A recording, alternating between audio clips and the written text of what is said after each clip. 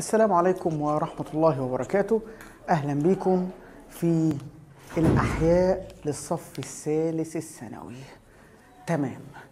تعالوا كده نشوف إحنا هنذاكر إزاي والدنيا هتمشي إزاي في الدرس بتاعنا. بس قبل ما نبتدي لازم نبقى واخدين بالنا من حاجة. لازم عشان تجيب درجة كويسة تبقى عارف كل الحاجات اللي ليها علاقة بمنهجك في السنين اللي فاتت. من أول ما ابتديت علوم لحد دلوقتي. ولازم تطبق وتحل. كلما حلت أكتر أفكار أكتر قفلت أكتر. ده اللي إحنا بنعمله. إحنا مفيش درس بيعدي علينا اللي ما بنحل عليه مختلف الأسئلة من كافة المصادر. تمام؟ وبعد كده بنطبق من اللي فات ومن اللي جديد. عشان خاطر تبقى ملم بكل ما له علاقة بالمنهج بتاعنا. تعالوا كده ندردش مع بعض ونشوف إحنا إيه المنهج بتاعنا باختصار شديد. إحنا عندنا شابتر اسمه الدعامة. تمام؟ هناخد إن الدعامة دي الحاجة اللي بتخليني واقف على حيلي مفروض كده. وهنعرف إن الدعامة أنواع. في دعامة في النبات تمام؟ وفي دعامة في الإنسان. هنعرف بقى إن الدعامة في النبات دي دعامة فسيولوجية ودعامة تركيبية ودي ليها قصة وعناصر ودي ليها قصة وعناصر. وناخد بالشرح وبالتفصيل إيه هي الدعامة الفسيولوجية وإيه هي الدعامة التركيبية وإيه اللي هيحصل لو فقد النبات دعامته الفسيولوجية أو التركيبية وإزاي ده ممكن يحصل. تمام؟ بعد كده هننتقل للدعامة اللي في الإنسان وهنطول فيها. الدعامة اللي في الإنسان دي اللي بتخليني واقف على حيلي كده مفروض قدامكم فقال لك أهم دعامة وأول حاجة هنبتدي بيها الهيكل العظمي. وهنعرف إن الهيكل العظمي حاجتين المحوري اللي أنا منصوب عليه ده والطرفي اللي ماسك أطرافي الإيدين والرجلين. هنعرف بعد كده إن كل جزء مثلا المحوري ده عبارة عن جمجمة وحبل شوكي.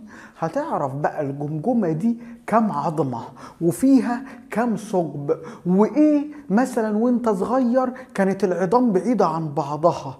تمام؟ فحجمها كان كبير. إيه اللي بيحصل لها بمرور الوقت؟ وإزاي بتتصلب؟ وإزاي العظام بتتماسك؟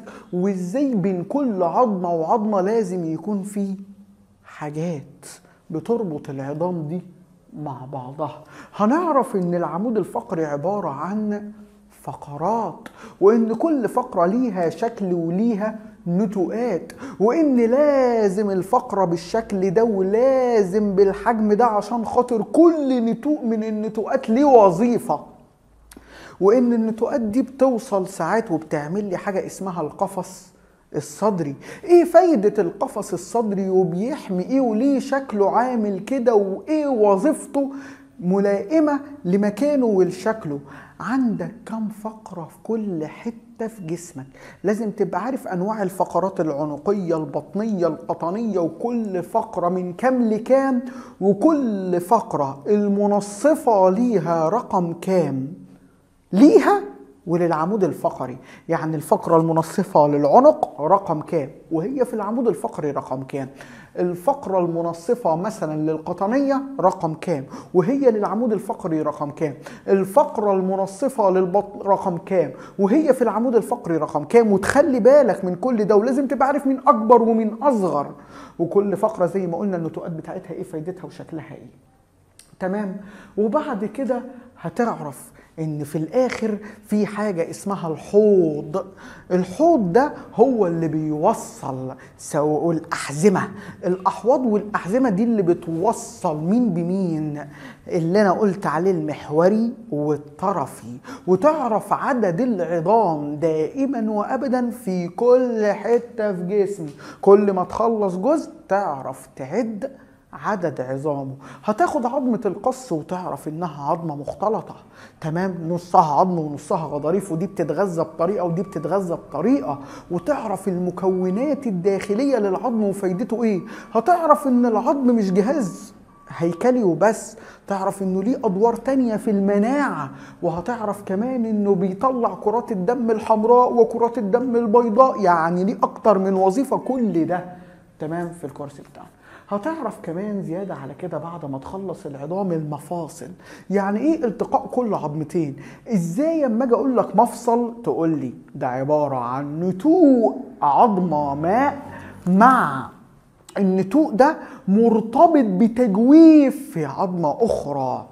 هو ده المفصل نتوء وتجويف. هتعرف الأربطة. يعني إيه رباط؟ إيه الفرق بين رباط ووتر؟ مين اللي مرن؟ الرحم مثلا هل هو أربطة ولا أوتار؟ وهتعرف إن الأربطة أكتر مرونة من الأوتار. والوتر ملائم لوظيفته لأنه بيوصل عظمة بعضلة. أما الرباط لا لازم يبقى مرن وإلاستيك. هتعرف يعني إيه الرباط الصليبي اللي بيتخبط عند لاعيبة الكورة؟ تمام لما بيترموا ولما بيقعوا والمشاكل اللي بتحصل لهم والعمليات وإزاي إن ربنا حامي أساسا الأربطة بعظمة زيادة بتنسوا تعدوها في العمود الفقري مش عارف ليه؟ وفي الأطراف السفلية. كل ده وأنت لسه في الدعامة بتاعت الإنسان. فلازم تخلي بالك إن الدعامة مش قليلة. هتخلص الدعامة وتحل عليها ننتقل للحركة. هتعرف إن النبات بيتحرك وخدت له حركات قبل كده نفتكرها مع بعض وهناخد حركات جديده هنعرف إن في حركة اللمس وحركة النوم وحركة الإنحناء وحركة الدورانية وحركات الشد بالمحاليق وحركات الشد بالجذور. وإيه كل حركة بتحصل إزاي؟ وفايدة كل حركة كمان. وإيه الظروف اللي بتعملها؟ النبات بتحصل يعني النبات بيكون فيها عشان يعمل الحركة دي. تمام؟ وهنعرف بعد كده الإنسان مثلا العضلات بتاعته مالها. إيه تركيب العضلة بتاعته؟ إزاي العضلة بتاعته بتشتغل؟ إيه رسمة العضلة؟ وهنرسم مع بعض. في عندنا رسمتين في الباب ده مهمين. تمام؟ وممكن يجوا. وإيه؟ الرسمة بتاعت العضلة. تمام؟ وإزاي العضلة بتتصل بالعصبة بالعصب؟ وإزاي الأعصاب بتخلي العضلة تنقبض أو تنبسط؟ وإزاي العضلة بتتحرك؟ وإيه اللي بيحصل لما بيحصل لها إجهاد أو بتتعب؟ والشد العضلي ده نتيجة إيه؟ كل ده في الباب الأول اللي هو الدعامة والحركة. يا دوب لسه بسم الله الرحمن الرحيم. بعد ما نخلص الدعامة والحركة هتخش على الهرمونات. تمام؟ الهرمونات حاجة عندكم معلومات من أيام إعدادي عندنا لم بقى كل ده. طبق في الجديد وتوقع وحل أسئلة. عشان خاطر تضمن اللي جاي. عندك بنك معرفة عندك عندك عندك الهرمونات. هتعرف إن النبات فيه هرمونات؟ الإنسان فيه هرمونات. طب يا ترى إيه اللي بيتحكم فيها؟ إيه أنواع الغدد؟ تعرف إنهم ثلاثة الغدد القنوية والغدد الصماء والغدد المختلطة. وهنعرف كل غدة وظيفتها إيه؟ والهرمون اللي بت... وظيفتها ومكانها. والهرمون وظيفته إيه؟ حلو. وكمان لو زاد هيحصل مرض اسمه إيه؟ ولو قل هيحصل مرض اسمه إيه؟ كل ده في الهرمونات. طبعا أنت ما عندكش هرمون واحد في جسمك أنت هتاخد كل الغدد بهرموناتها. تمام؟ شابتر مهم وتقيل. هتخلص هتروح للتكاثر. هنا بقى مش هتاخد التكاثر زي ما خدته قبل كده هنا هتاخد التكاثر ليه أصلا؟ ليه في كائنات بتتكاثر كتير؟ ليه في كائنات بتتكاثر مرة أو مرتين والتكاثر بتاعها قليل؟ يعني إيه الكائنات الأكثر نسلا؟ يعني إيه الكائنات الأقل نسلا؟ ليه في كده وفي كده؟ ليه في تكاثر جنسي؟ ليه في تكاثر لا جنسي؟ بيحصلوا إزاي؟ إيه الكائنات اللي بتعمل كده وإيه الكائنات اللي بتعمل كده وإيه المراحل في ده وإيه المراحل في ده؟ هتعرف إن في اللاجنسي ده بالانشطار وبالتبرعم وبالتجدد وبالجراثيم وبالتولد البكري وبزراعة الأنسجة. يعني إيه الإسبروجيرا؟ ويعني إيه إن الإسبروجيرا دي عندها حاجة اسمها الاقتران الجانبي والاقتران السلمي. وهنراجع مع بعض تاني على التكاثر في الإنسان بالكامل. ونكمل. ناخد الحيوان المنوي. ناخد البويضة من أول وجديد. تمام؟ ونعرف بقى الأغشية الجنينية بتتكون إزاي؟ كل غشاء اسمه إيه؟ مراحل تكون الجنين شهور الحمل والمراحل وكل مرحلة بتحصل إزاي؟ وقت الحمل. تمام؟ وإيه؟ وسائل منع الحمل وتعدد المواليد. تمام؟ وننتقل كمان وناخد نفس الحاجات دي في النبات.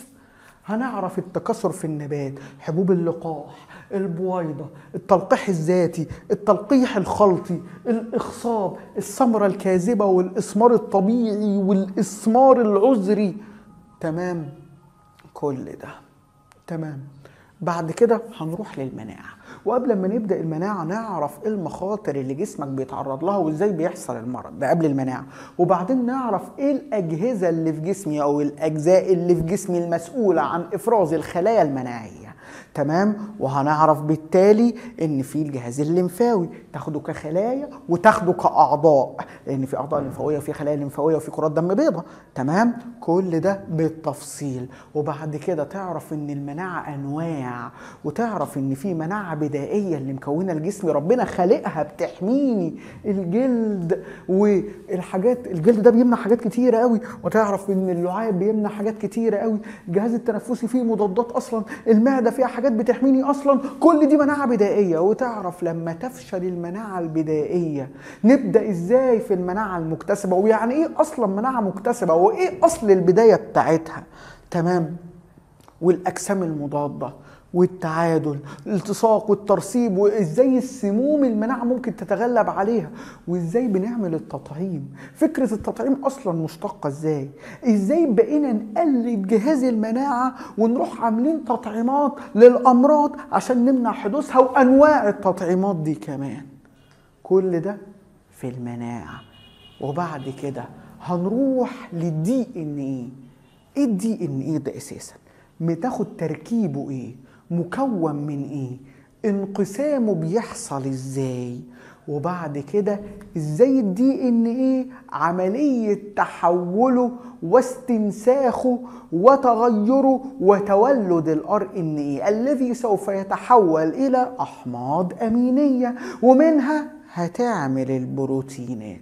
وإزاي DNA بعد ما عرفناه نقارن ما بينه وما بين ال RNA إزاي ممكن يحصل فيه طفرة؟ والطفرة دي تعمل مرض وأنواع الطفرات اللي ممكن تحصل والعوامل بتاعه الطفرات.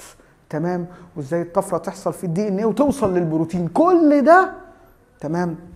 إن شاء الله هتاخده بالكامل في الدروس بتاعتنا. تمام؟ الموضوع سهل. وبيعتمد على إن شخص يكون فاهم عشان يغطي كل حاجة من أول science أو العلوم لحد دلوقتي. كل ده بناخده في الدرس بتاعنا.